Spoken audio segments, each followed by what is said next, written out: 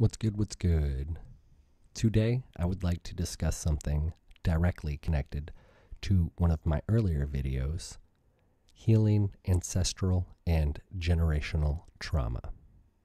And that is of the fatherlessness epidemic we are experiencing as a culture.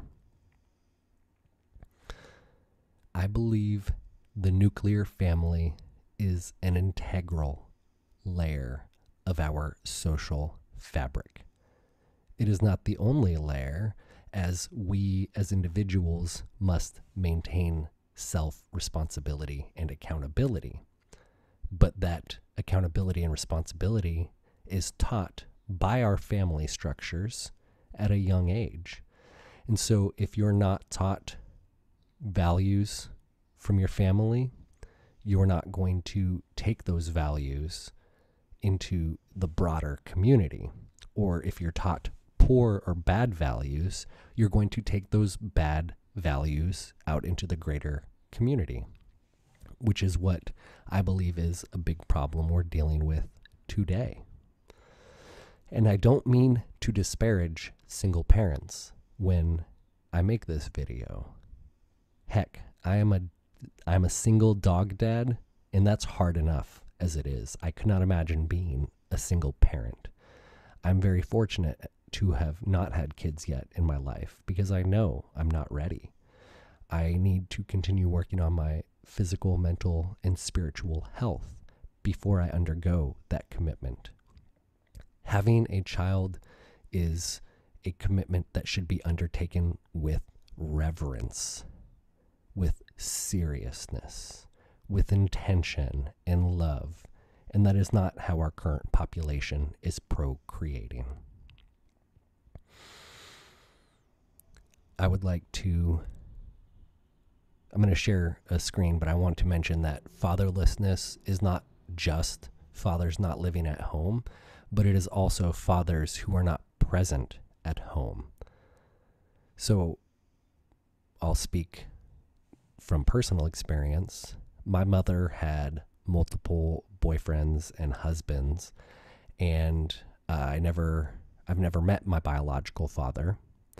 And in fact, when I was 11, my mother abandoned myself and my siblings in an attempt to salvage her second marriage to an abusive man. She then never really recovered and as a teenager, I was informally adopted by a family member. And within that family structure, the father figure would go to work, come home, and play video games. He was not present for the development of the family. And so fatherlessness can manifest in a variety of ways.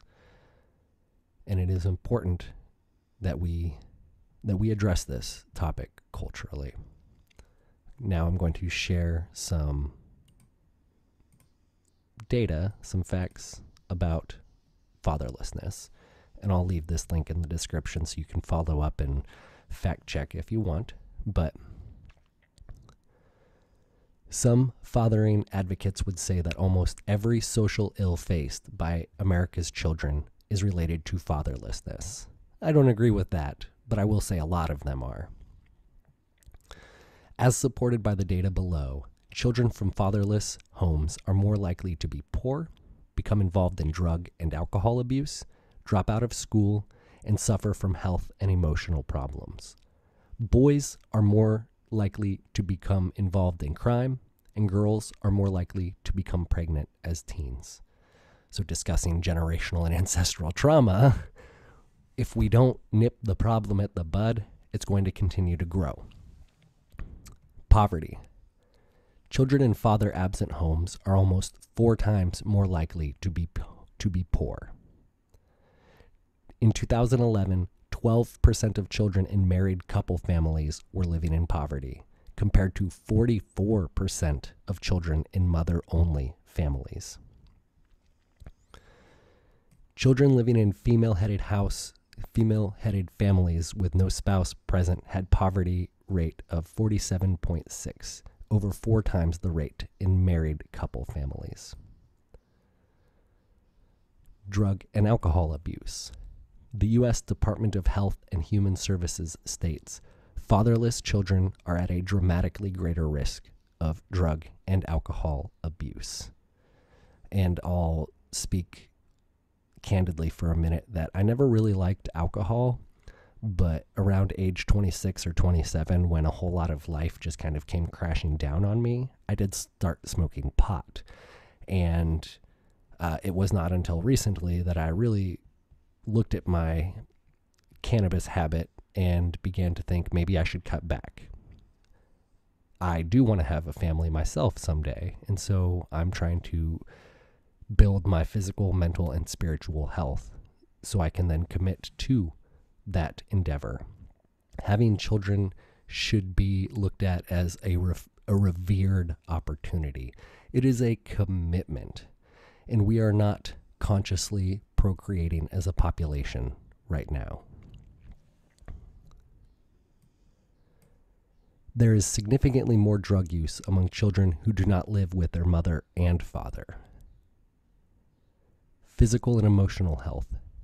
A study of 1,977 children, age 3 and older, living with a residential father or father figure, found that children living with married biological parents had significantly fewer externalizing and internalizing behavioral problems than children living with at least one non biological parent. This stat really kind of startled me. Children of single parent homes are more than twice as likely to commit suicide. Data from Three Waves of Fragile Families study was used to examine the prevalence and effects of mothers' relationship changes between birth and age three on their children's well being. Children born to single mothers show higher levels of aggressive behavior than children born to married mothers. Living in a single mother household is equivalent to experiencing 5.25 partnership transitions. And so it just blows my mind that there is this Marxist movement to eradicate the nuclear family when the data clearly shows that it is important. And if you think just logically for a second, of course the family is important. Now we can argue about biological parents versus step parents, and that's a whole different thing. But what really matters is just having loving and present parents. Educational achievement. Children in grades 7 through 12 who have lived with at least one biological parent youth that experienced divorce, separation, or non union birth reported lower grade point averages than those who have always lived with both biological parents. Children living with their married biological father tested at a significantly higher level than those living with a non biological father. I don't care if you have a loving stepfather, I believe that is just as important. Father involvement in schools is, is associated with the higher likelihood of a student getting mostly A's. This was true for fathers in biological parent families, for stepfathers, and for fathers heading single parent families. So, it, again, it's just that involvement component. 71% of high school dropouts are fatherless. Fatherless children have more trouble academically, scoring poorly on tests of reading, mathematics, and thinking skills. Children from father absent homes are more likely to be truant from school, more likely to be excluded from school, more likely to leave school at age 16, and less likely to attain academic and professional qualifications in adulthood. Crime. Adolescents living in intact families are less likely to engage in delinquency than their peers living in non intact families. Compared to peers in intact families, adolescents in single parent families and step families were more likely to engage in delinquency. The, this relationship appeared to be operating through differences in family processes, parental involvement, supervision, monitoring, and parent child closeness between intact and non intact families. A study using data from the National Longitudinal Society of Ad- Adolescent Health explored the relationship between family structure and risk of violent acts in neighborhoods. The results revealed that if the number of fathers is low in a neighborhood, then there is an increase in acts of teen violence. The statistical data showed that a 1% increase in the proportion of single parent families in a neighborhood is associated with a 3% increase in adolescents' level of violence. In other words, adolescents who live in neighborhoods with lower proportions of single parent families and who report higher levels of family integration commit less violence.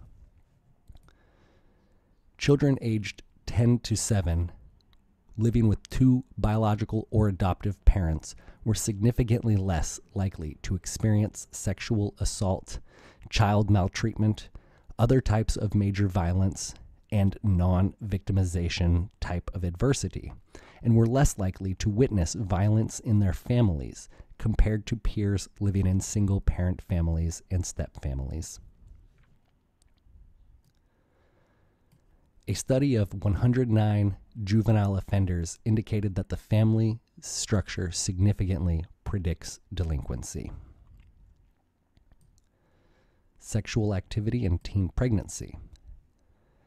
A study using a sample of 1,409 rural southern adolescents, 851 females and 558 males, aged 11 to 18 years, investigated the correlation between father absence and self reported sexual activity. The results revealed that the adolescents in father absence homes were more likely to report being sexually active compared to adolescents living with their fathers. Being raised by a single mother raises the risk of teen pregnancy, marrying with less than a high school degree, and forming a marriage where both partners have less than a high school degree. And so none of this is designed to attack single parents, but it is entirely designed to raise awareness to the importance of family. The family layer is the layer just beneath the community layer. And so, if you want to do the best thing you can for your community, do the best thing you can for your family. It just, it really, it, it blows my mind that this is being argued and that there literally are people trying to eradicate the nuclear family. I'm I'm far from a square. I I am very much open to the human experience being f- free, but freedom comes with responsibility. As Viktor Frankl said, the Statue of Liberty should be accompanied on the West Coast by a statue of responsibility. If you want to live a free life, don't have children. It's that simple. With Planned Parenthood being well funded, contraceptives are not hard to get. Not at all. Not at all. There are very few excuses for having children out of wedlock beyond the fact that it is a generational trauma pattern. And it is one that we need to break. And it is on us to do so. And so, if you're watching this and happen to be a single parent, please don't feel attacked. I'm not trying to attack you. And if you're watching this and you don't have children yet, please understand that it is a huge, huge, huge commitment that should not be taken lightly. Thank you very much for listening. As always, much love.